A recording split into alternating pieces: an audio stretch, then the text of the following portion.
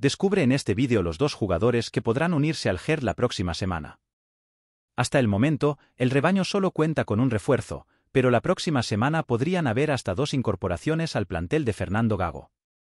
Quédate en el vídeo hasta el final para que YouTube siempre te entregue las novedades que publicamos todos los días.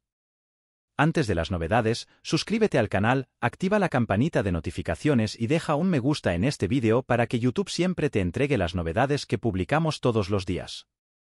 Tras el anuncio de José Castillo como primer refuerzo rojinegro, Chivas de Guadalajara podría realizar nuevos fichajes la próxima semana, de cara al clausura 2024 de la Liga MX.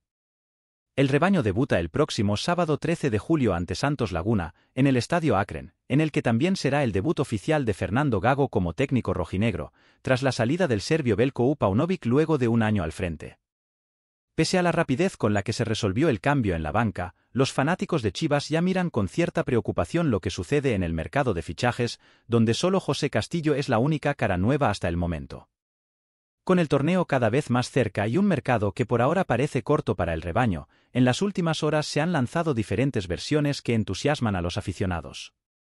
Los próximos días pueden ser fundamentales y la directiva que encabeza Fernando Hierro podría garantizar hasta dos refuerzos en diferentes posiciones. El primer refuerzo posible es Fidel Ambriz. El interés del rebaño por Fidel Ambriz también viene de mucho tiempo atrás.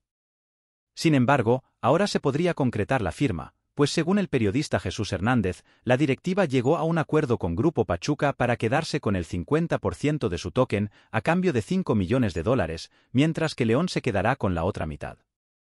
El joven centrocampista podría suponer una gran inversión a corto y largo plazo. El segundo es el experimentado lateral izquierdo Jesús Gallardo.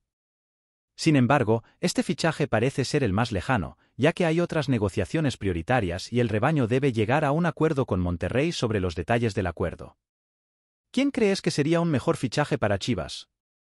¿Fidel Ambriz o Jesús Gallardo? Cuéntamelo en los comentarios y nos vemos en las próximas noticias.